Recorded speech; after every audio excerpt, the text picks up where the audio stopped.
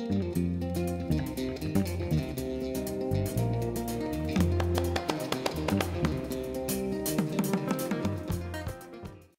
Well, first, first one I was a What's student. that book on the table? Well, that, that one's about business strategy. That one was a response to the fact that I had read so many books on strategy that made it seem terribly complicated. Mm. And maybe I'm very simple and maybe I don't understand it, but it didn't seem very complicated to me. So I wrote the book that I wanted to read. Um, that was that one. First one, I was on a, a research grant from the Social Sciences Research Council after I'd graduated, and it was just a, a paid piece of work, and it inspired me. I rather like writing. Found it very easy.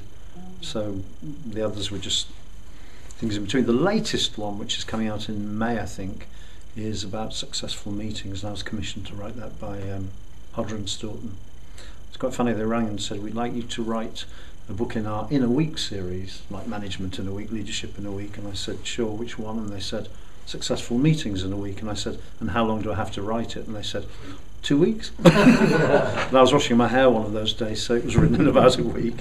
Uh, the hair thing keeps coming back. It does. It's a recurrent theme tonight. It's not that I'm People write a bothered. book of it.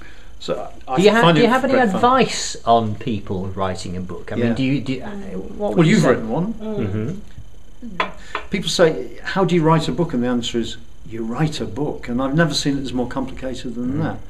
Um, that one, I drew a mind map and I wrote the book, and it, it Mm. sounds very glib put that way. But, But um, do you write as you would speak? Do you write in a conversational that, style? that one is very conversational. Mm. Um, the, the latest one is very conversational. Some of them have probably had more. Yeah, some are more boring, and, and those are quite conversational. Uh, I do some editing afterwards, but um, I find writing extremely easy. Remo- I'm lucky. It's just been very easy. Mm. That's the advice. If you've got something to write about, write it. Edit it afterwards, or find a good editor who will Mm. restructure it for you. It's not that difficult. We were watching um, um, a, a speech today or a conversation. It was very much like this. It was a panel discussion Mm. uh, with Seth Godin and Tom Peters, and Seth was talking about blogging, and he was saying the the, the really important thing about blogging is not how many people read it; it's actually the impact it has on the blogger. Mm. Uh, I've seen that to before. articulate your thoughts and to kind of um, you know get get this way of being reflective about things and being curious about things. To, Or to in my case, a rant. things. I mean, some of my blogs Yeah. are a rant. I have something I want to get off my chest, and having having written it down, I feel a great deal better. Hmm.